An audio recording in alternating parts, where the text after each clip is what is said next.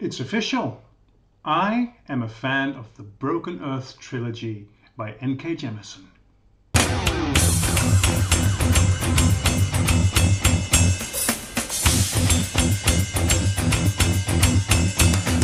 Hello everyone and welcome to Dutch Greybeard. Today I want to share with you my reading experience of these three books.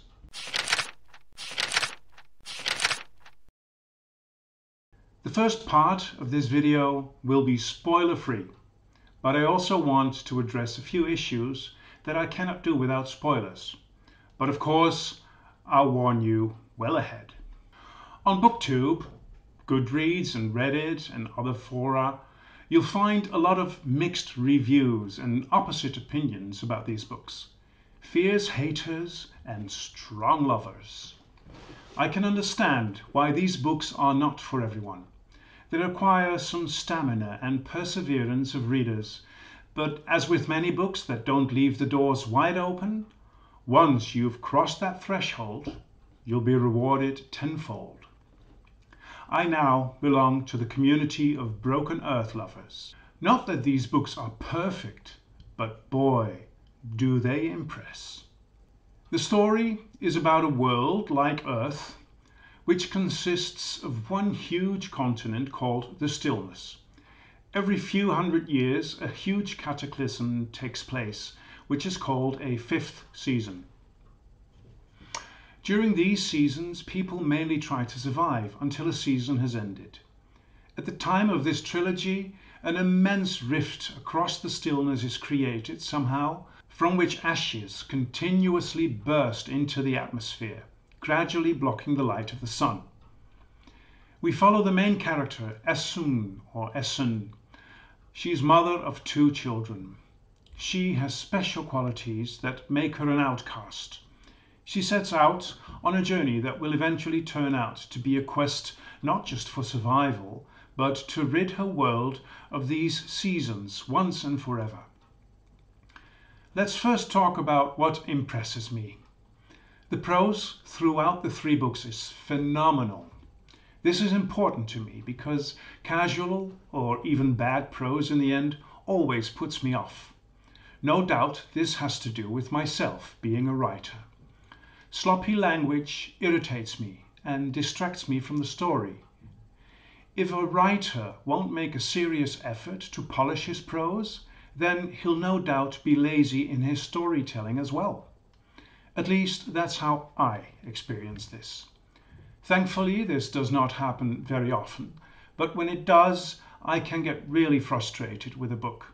I cannot imagine why someone would go through all the hardship of writing a book and not want to make it a piece of art. Miss Jemisin's writing most certainly is artful. Let's take this next sentence, or part of it, from the fifth season, the first book in the series. On the topmost floor, where the plush, hall-length rug is overlaid by a herringbone pattern of sunlight, she stops. This is language that is well cared for, and it transports me straight away to this topmost floor with this beautiful sunlight pattern. I can really savor this kind of exquisite writing. But it's not just well-worded descriptions. Jemisin can also capture a world in just a few words. Take this line, for instance. Then she wonders why a part of her is trying to find value in degradation. To explain the background here would take too long and would involve spoilers. But take it from me that this small sentence reveals a world about the complicated social status people with special abilities have. Or this one from the Obelisk Gate number two. You seem strong, healthy, but inside you feel like he looks. Nothing but brittle stone and scars, prone to cracking if you bend too much. You try to smile and fail. He doesn't try. You just look at each other. It's nothing and everything at once. This kind of writing is what I'm looking for in a good book. A good story elegantly wrapped in language. In The Stone Sky, the third book in the trilogy, there's this sentence Only people who think they have a future fear death. On its own, this is quite a profound observation, but within the broken earth, where people try to survive in the harshest of conditions without any real hope for improvement, even in the longer future, you will find that people who believe they have a future are scarce. The second person narrative, which is only used in the chapters of Essun, the main character, requires some getting used to in the beginning, but right away it intrigued me. When a writer chooses this kind of point of view, there has to be a compelling reason. In this case, the reason becomes clear somewhere halfway the series when pieces of the intricate puzzle come together. And once you're used to it, it becomes easy to read. In the spoiler section later on, I'll try to explain the reason for this unusual POV. The story, world building, and character work are all superbly done. However, one might argue that the building of the world is very slow paced. Jemisin illustrates much of the culture with simple but beautiful things, like the drink saf or safe. It's made from a plant milk that changes color in the presence of any contaminant, even spit. It is served to guests and at meetings because, well, it's safe. A polite gesture that says, I'm not poisoning you, at least not right now. Later on, I'll get back to why the world building of N.K. Jemisin is so good. Even though I'm a fan, not everything was perfect for me. For one, it's not a fast paced story. At points, there is hardly any fuel to keep the motor of the story running. Every now and then, however, the story develops at breakneck speed for one chapter. One of the peculiar things I experienced with this series was that I wasn't very eager to return to the book I was reading. Once I was underway, I enjoyed it very much, but every time I had to overcome a slight aversion. I think this is mainly because I was regularly lost. I didn't know all the time what the story was about, which left me groping for solid ground. I always caught up again, but at times it took too long for my taste. And this is not a thing that only occurs at the beginning and will disappear once you're familiar with the world, the characters, and the storyline. Even after two full books, this loss of coordination is extra heavy in the final part, the Stone Sky. Some of the chapters here are set in the extremely distant past, which feels like an entirely different world with people who have different abilities and so forth. You have to reacquaint yourself all over again. It's always a personal thing as to whether a writer reveals too much or too little. Jemisin is not very generous in making the reader at ease. On the contrary, she challenges me, at least, to trust that all will be clear up ahead. And I have to admit that there were moments that I wished she'd reveal just a bit more, a bit sooner. Another thing that made this an uneasy read is that the story itself is very disturbing and disheartening. Throughout the books, life itself is very hard and violent, and the prospects for the future are very bleak, to say the least. The complete lack of any kind of humor, banter, or light-heartedness makes this read all the more depressing. It's a complete overdose of bleakness and hopelessness. A minor irritation for me was her abundant use of the term belatedly.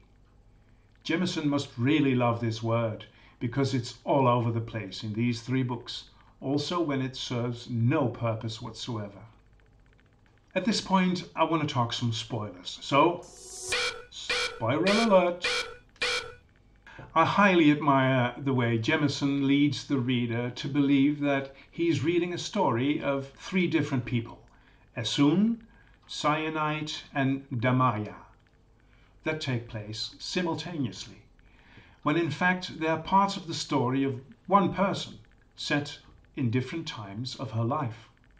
This is very skillfully done, and when the veil of this deceit is lifted around page 330 in the first book, it came to me as a complete surprise. The world building is partly done by means of language, which I highly appreciate. Essun, as well as her daughter Nassun, is an orogene. Orogenes, or rojas as their more derogatory name goes, can feel below the surface the earth and move parts. They literally have the ability to move mountains. This feeling is called sessing. Also the fact that the earth is called Father Earth has meaning. A mother is soft and caring, but a father can be demanding or even damaging at times. Another subtle way of making the reader familiar with this world is the way people are named. Everyone has three names in this world. Their given name, or a name they adapt for themselves, the name of the com, or community they live in, and the name of their occupation.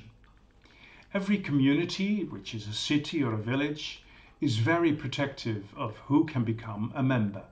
When a person comes knocking at the door of the village, and he or she has no skills that are needed, they will likely not be given access. So, I was happily editing my video yesterday when I suddenly realized that the last five minutes or so of my story had magically disappeared.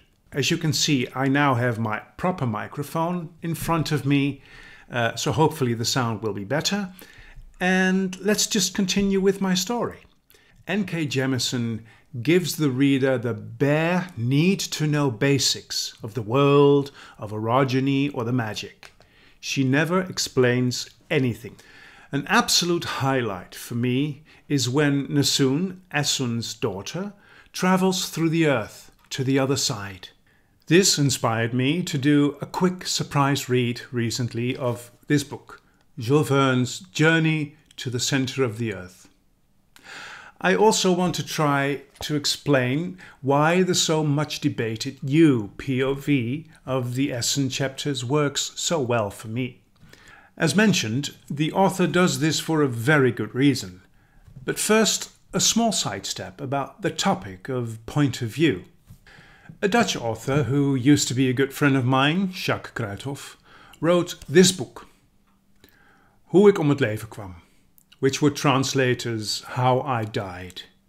In the self titled essay in this bundle, he explains why the point of view the writer chooses is so important. He argues that if a character explains how he died, the writer makes a crucial mistake. There is no way this dead person can tell about his death. A POV, any POV, has to be able to tell his or her story to the reader. It's not important if this story is written down, told, or conveyed through telepathy, as long as it is reasonably told by the character who is telling it. In the words of Kruithof himself, every story that maintains the illusion of reality must come from a conduit must come from an agency that guarantees authenticity.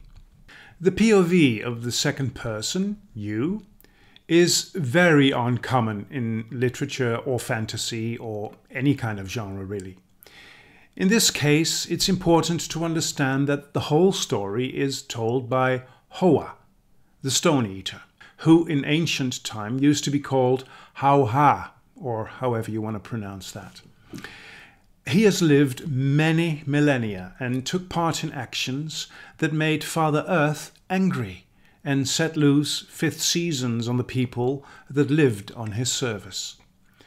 Houwha and his siblings were created with special powers to power up the plutonic engine, which would provide mankind with an infinite supply of energy.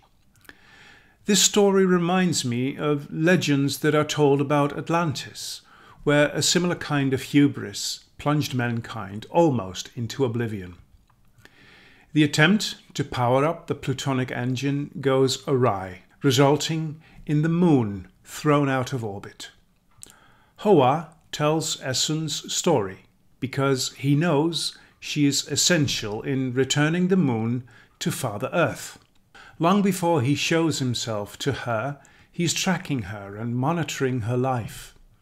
Once the fifth season has started, she narrowly escapes her com and starts out on a quest to find her daughter, who has probably been kidnapped by her father.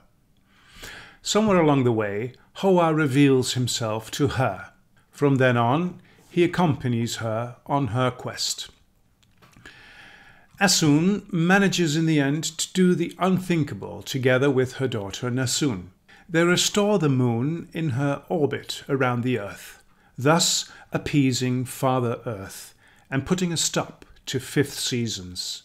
But the price for doing that is that Essen turns to stone. She becomes a stone eater, some of the strangest creatures in this fantasy. People who turn into stone eaters sometimes lose their own entire history. That is why Hoa is telling the whole story to her, to you, to Essen, to the one who saved the world. These books are literary fiction disguised as fantasy. Even though a reader cannot really sit back, relax, and enjoy the read or write, it's well worth the effort. I, for one, will cherish these books and undoubtedly will pick them up now and then to relish just a few paragraphs. Then, in closing off this reading experience, let's rate the three books. They really are one story for me, so the three titles are very close to one another. The fifth season I rate 87 out of 100. The Obelisk Gate I rate 90 out of 100. And The Stone Sky I rate 91 out of 100. Thank you very much for watching this video. Until we meet again at Dutch Greybeard.